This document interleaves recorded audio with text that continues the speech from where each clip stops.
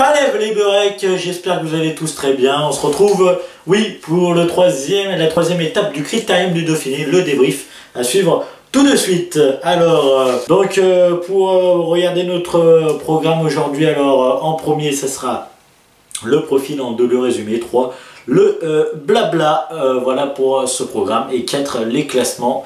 On découvre tout de suite le profil. Alors cette étape était entre Coranque Corank, Corank, dites-le moi si vous savez comment ça se prononce dans les commentaires et si je prononce bien.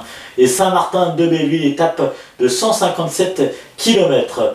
On va avoir un sprint intermédiaire à La Rochette au kilomètre 43 et le col de la Madeleine 100 au kilomètre 105 qui est 17,3 km à 8,3%. Emprunté euh, souvent par le Tour de France ce col, euh, très pentu euh, et qui fait mal dans les jambes hors catégorie. Et la côte pour rejoindre Saint-Martin de Belleville, 14,8 km à 6% de moyenne. C'est aussi euh, très pentu, euh, surtout euh, au début de la pente et après dans les trois derniers kilomètres. Donc le résumé de l'étape tout de suite les amis. Attaque de Rémi Cavagna au kilomètre 7. Il va être repris au kilomètre 19 par le peloton maillot jaune. Kilomètre 29,5. Danielos, Bomiugus, Pierre-Roger Latour, David Formolo, Jules, Jensen, Craig Anderson et Sutterlin Nive et Chevalier s'échappent. Euh, Craig Anderson remporte le sprint intermédiaire devant Sutterlin et Formolo au km 56,5. Échappé et démarré au, km 29,5 pour info. Km 75, Sutterlin hausse Nive et Jules Jensen craque dès le premier kilomètre d'ascension du col de la Madeleine. Euh, Jungle, Bob Jungels et Craig Anderson avec Chevalier vont céder également un kilomètre plus tard. Formolo, lui, va se retrouver tout seul en tête au kilomètre 91, juste avant euh, le, passage au sommet, et euh, enfin quelques 14 km avant. Et Formolo va passer en tête du col de la Madeleine, 20 points pour le classement du meilleur grimpeur. Euh, voilà, qui va endosser d'ailleurs le maillot à poids ce soir. On verra tout ça après. Le peloton au kilomètre 132 va se casser en plusieurs morceaux dans la descente du col de la Madeleine.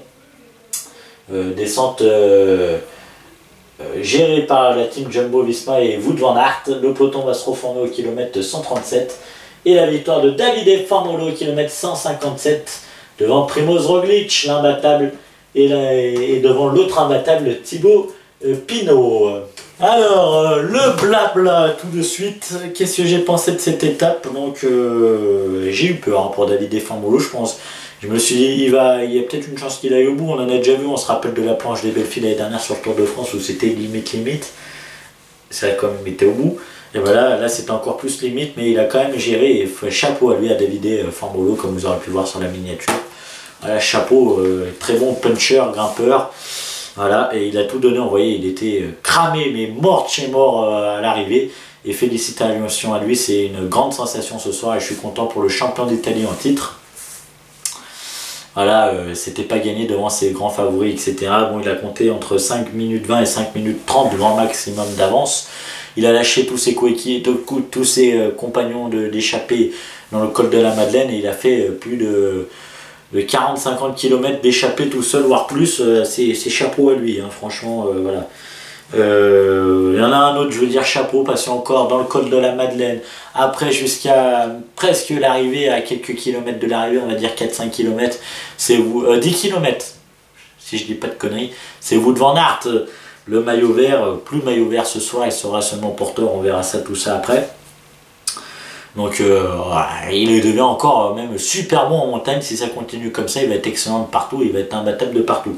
Peut-être pas en montagne, J'exagère, mais il devient quand même très très fort euh, quand pour euh, grimper. Donc euh, il, est impressionnant. on le connaissait, c'est pas une révélation, mais, mais voilà, il est impressionnant et c'est un coureur qui va marquer l'histoire du cyclisme.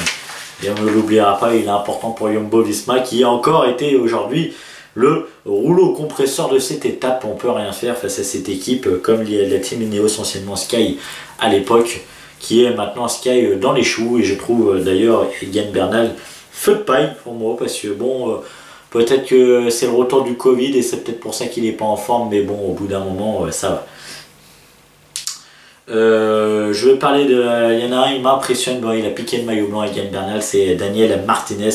C'est vraiment une des révélations de ce critérium du Dauphiné. franchement, impressionnant encore en montagne aujourd'hui. il était avec les tout meilleurs, le jeune Colombien. Euh, par contre, les deux qui sont impressionnants et qu'on sait pour moi, ça sera les deux premiers euh, sur le podium du Tour de France. Si ça en reste comme ça, il va y avoir une belle bataille. C'est Primoz Roglic avec Thibaut Pinot.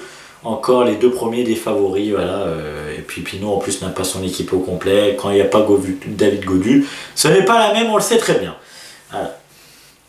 Et là, il n'est pas là, donc voilà. Par contre, il y en a qui sont décevants. Uran Bombardier qui a travaillé pour Quintana, qui a été aussi décevant, mais c'est pas de sa faute. Quintana, Bard, Bernal, Yates, eux, c'est pas normal qu'ils soient lâchés comme ils l'ont été. Par contre, il y en a certains comme Quintana, Bardet, Froome, Thomas, Dumoulin, Kruijswijk, lâchés normal. Mais euh, bon, euh, aussi Barguil parce qu'il a travaillé pour Quintana, euh, voilà, Thomas, Froome, Kruijswijk, Dumoulin, c'est normal aussi. Ils ont travaillé pour leur leader, Froome aussi qui est blessé, comme Romain Bardet qui, s'est blessé juste avant le confinement, qui a juste après le confinement, qui n'a pas pu reprendre tout de suite l'entraînement. Par contre, Kruijswijk, qui m'a bien étonné j'ai cru, c'est Crochbike ou Dumoulin, je ne sais plus. Euh, il m'a fait marrer, il, il, roulait, puis s'est écarté, il est revenu devant, on croyait qu'il allait être lâché. Et franchement, non. Voilà. Euh, il y a aussi des coureurs comme Alejandro Valverde qui peuvent être euh, franchement décevants. Bah bon, il est plutôt jeune non plus, Alejandro Valverde, il a eu ses moments de, gloire. c'est peut-être la fin du règne Valverde. Euh, pour l'aspect technique, 50,3 km parcours de la première heure, 39,7 la deuxième et 28,8 la troisième heure, une moyenne de 39,6 sur la course complète. C'est euh, franchement ça roule vite quand on voit 50 km/h dans la première heure, même si c'est bien du plat, c'est beaucoup de plat. C'est quand même euh, beaucoup et 39,7 dans la deuxième avec le col de la Madeleine et la troisième aussi avec euh, tous ces, difficultés, ça roulé vite. Hein. On l'a vu à l'avant du peloton, on le remarque peut-être pas forcément à la télé, mais quand on voit la course en vrai ou pour les journalistes qui sont sur la moto, etc., on le voit. Euh, donc c'est très bien. Maintenant, les porteurs de maillot tout de suite, enfin le classement plutôt. Victoire de David Formolo en 4 h 6 minutes et 56 secondes. 11, secondes de, bonification puisqu'il en a pris une au sprint intermédiaire, il y en a à chaque fois. 3, euh, 2 et 1 pour les trois premiers au sprint intermédiaire. Primoz Roglic, deuxième, 6 secondes de bonif qui renforce son maillot jaune. Thibaut Pinot aussi, euh, troisième, 4 secondes de bonification. Primoz Roglic qui avait perdu son maillot jaune virtuellement euh, pour Davide Formolo, mais puisque la Jumbo Visma roulé, et eh ben c'est plus pareil. Emmanuel Bourman, quatrième, Daniel Martinez, Michael Landa, Guillaume Martin, Tadej Pogacar aussi, impressionnant, c'est l'une des révélations aussi Guillaume Martin, un peu moins on le connaît, mais il est impressionnant aussi. Pavel Sivakov aussi pour le Team Ineos. Voilà, le premier de la Team Ineos pour euh, compléter ce euh, top 9, euh, le top 10. voilà. on va. C'est Miguel André Lopez, il me semble, le dixième. Le top 10 du classement général, Primoz Roglic devant Thibaut Pinot à 14 secondes. Emmanuel Pourman, 20 secondes pour le podium. on retrouve Guillaume Martin pour les Français à la quatrième place à 24 secondes, 26 secondes de retard pour Michael Landa. Et après, il y a les 4 Colombiens. Daniel Martinez à 26 secondes, Egan Bernal 31 secondes, Miguel André Lopez 32 secondes et Nero Quintana 35 secondes, tout comme Richie Porte l'Australien.